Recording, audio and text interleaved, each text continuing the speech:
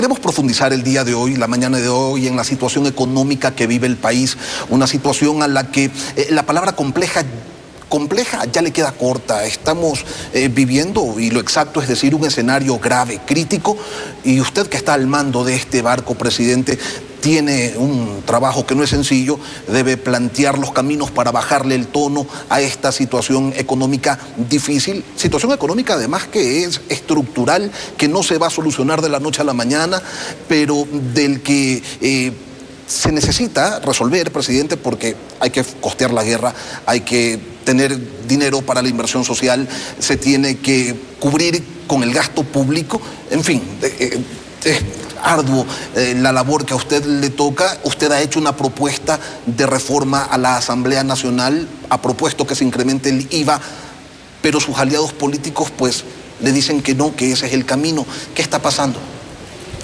Bueno, pasan varias cosas. Estamos en una situación compleja, muy compleja. Estamos en guerra y también heredamos 4.600 millones de dólares en retrasos del gobierno pasado.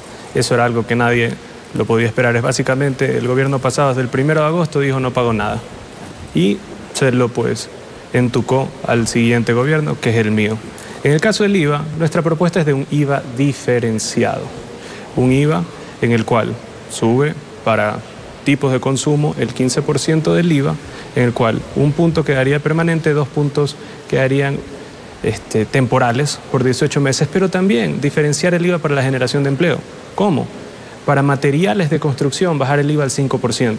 De esa manera se puede generar empleo, se vuelve una actividad más rentable y más atractiva y los desarrolladores y constructores pueden tomarse un riesgo adicional porque sus costos bajan. Presidente, pero sus aliados en la Asamblea le dicen que no a su propuesta. El día de hoy no hay los votos para que aquello sea aprobado. Insisto en, mi pregunta, ¿qué está pasando? ¿Pero a quién se refiere de mis aliados? Al Partido Social Cristiano, por ejemplo, que ayer incluso votó en contra del primer informe de la ley de extinción de dominio, presidente, y son cosas que no se entienden. Eso yo no entiendo. Eso sí me tendrán que explicar eh, muy despacito, porque la verdad no entiendo cómo alguien se pueda oponer al primer informe de la ley de extinción de dominio. Eso es absurdo. Ese dinero de criminales y armas de criminales, activos de criminales que pueden usarse para que el gobierno luche contra estos narcoterroristas, pues hay gente que se opone. Muy raro. Eh, de ahí nuestros aliados. En la primera ley económica urgente sacamos 108 votos. Aliados eran bastantes. En la segunda ley sacamos con más de 130 votos. ¿Qué significa que todos entonces eran aliados? En este momento lo que se está viendo es un segmento, un pacto entre dos bancadas y el resto. El resto lo están analizando, el resto entiende. El problema es que esas dos bancadas, presidente, hacen mayoría. Eh, según mis matemáticas, no. 51 más 18, 69. Eso no es mayoría. Y aún así hay gente eh, ahí que todavía está teniendo debate interno. De todas formas, eh, creo que esas mismas bancadas deberían de reflexionar qué es lo que está pasando en el Ecuador. ¿Qué es lo que está pasando en el Ecuador? Tenemos un problema fiscal, número uno. Estamos en una guerra contra el narcoterrorismo que mueven 60 mil millones de dólares en cocaína al año. Son 40 mil personas armadas. Tenemos que lucharlo, tenemos que respaldar a nuestras Fuerzas Armadas y a la policía. Y también, también, en sus gobiernos sí lo hicieron. Una bancada que dice, pues es una barbaridad todo esto que está pasando. Es casi calcado nuestra reforma eh, a la de ellos del 2016. Y gente de esa misma bancada que tiene un poquito más de experiencia, como Marcela Guiñaga, eh, Pavel Muñoz, Paola Pavón, Leonardo Orlando. Ellos respaldaron en el 2016 lo que hicieron, incrementar el IVA, tener contribuciones especiales. ¿Usted confía en que ellos reflexionen, en que cambien de opinión, presidente? Yo sí creo que pueden reflexionar. Por más que últimamente pues me dicen ahora que soy bruto y pues que no me considero una persona inteligente, pues ganamos las elecciones Eso y le ha dicho el presidente Correa, ¿no? Así lo dijo. Entonces no sé por qué la gente votó por mí. Because he's nice, because he's handsome, because something incredible. ¿Cómo lee usted, presidente, eh, las propuestas reformatorias que se suman a su planteamiento original, que las hace el Partido Social Cristiano, que las hace Revolución eh, Ciudadana? Me refiero al tema de un impuesto a las utilidades 5% para las empresas, el tema del impuesto a las utilidades de la banca. no estamos en contra. Estamos, creemos que todos deben de contribuir. A lo que sí estábamos en contra, porque me parecía que afectaba duramente a la clase media, era el impuesto al patrimonio. Porque hay gente que tiene patrimonios altos y muy poca liquidez. Entonces esa gente, muchos de ellos de clase media, tienen que endeudarse para pagar un impuesto. La banca, es más, estaba feliz originalmente con el impuesto al patrimonio, porque dice, a ver, voy a tener decenas de miles de personas que capaz tienen una finquita o una casa de más de un millón de dólares, pero en el banco tienen 5 mil dólares en efectivo. Esos tienen que ir al banco a endeudarse para pagar el impuesto al patrimonio. Impuesto a la utilidad, estábamos de acuerdo, impuesto a la utilidad a la banca, también estábamos de acuerdo. El ISD podíamos eh, también eh, aceptarlo siempre y cuando el presidente tenga la potestad de que cuando las cosas están mejorando lo pueda bajar, como lo han hecho los presidentes pasados. Pero lo esencial es el IVA. Dicen, estamos de acuerdo de todo lo demás, menos el incremento del IVA. Pero si son dos mil y pico de, millones de, de, recaudación y 1.500 millones son el IVA, entonces no están de acuerdo con tres cuartas partes de la recaudación que se necesita. Es un absurdo. Otra cosa también, hablaban de que no más impuestos, pero sí tasas lo invito a que vaya a Nueva Prosperina, vaya a Durán, vaya a Daule, vaya al Guasmo y pregúntele a 10 personas.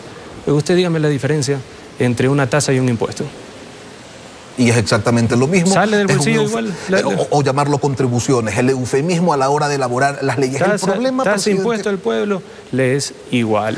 Además, el IVA, el IVA, no paga IVA canasta básica, no paga IVA medicinas, no paga IVA transporte público, eh, no paga IVA educación. Entonces el pueblo, el pueblo, los más pobres, la gente que más necesita, no estaría afectado, pero sí estarían beneficiados con el incremento de demanda laboral en la reducción del IVA en materiales de construcción. Presidente, eh, tenemos un problema grande en los temas propuestos de impuesto a las utilidades de las empresas y de utilidades de la banca, no en el impuesto como tal, sino en el mecanismo que se eh, ha establecido. Primero, que no se puede pues, proponer por parte de la Asamblea la creación de nuevos impuestos. El 135 señala con claridad que es una potestad exclusiva suya, presidente, y, y además el 300 de la Constitución, y usted lo conoce bien, plantea pues la irretroactividad en el régimen tributario. Entonces, ¿cómo hacemos compatible lo que proponen estas organizaciones políticas con el ordenamiento legal del país? Bueno, depende de un orden también matemático, basado en, la, en, en el punto de la retroactividad. Lo que se puede hacer es contribución mayor porcentual entonces para lo más reciente, el cual igual todavía estamos a tiempo. Eh, la presidencia y este gobierno lo que está buscando es respaldar a nuestras Fuerzas Armadas, respaldar a la policía, tener mayor recaudación sin afectar al pueblo, sin afectar a los que más necesitan. Eso es el resumen de lo que esta ley trata eh, de lograr. Y estoy seguro, estoy seguro que después de reflexión y después también de acordarse y que hablen también con las figuras más maduras dentro de la Revolución Ciudadana, para que se acuerden lo que pasó en el 2016, van a poder recapacitar y vamos a poder tener un consenso.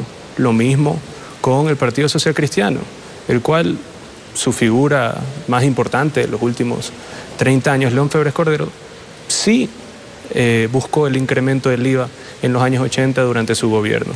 O sea que no es que nunca han estado a favor de eso. El presidente, la gente sensata del país no puede sino eh, estar a favor de que, se, eh, de que haya los recursos para financiar la lucha contra la inseguridad, de que haya recursos para que se genere inversión social, de que haya recursos para ir cerrando ese déficit fiscal de 8 mil millones de dólares. Pero al mismo tiempo hay que respetar lo que señala la Constitución. Usted dice, ok, lo de la irretroactividad hay que revisarlo porque evidentemente hay que cumplir con la norma, pero también hay que respetar aquello de que es potestad exclusiva de la presidencia de la República el presentar propuestas eh, de creación, modificación o supresión de, impuestos. Eh, quizás allí, presidente, sería pues usted quien deba enviar un proyecto planteando la creación de estos, de estos tributos para empatar la propuesta con el orden constitucional. ¿O no texto en el veto?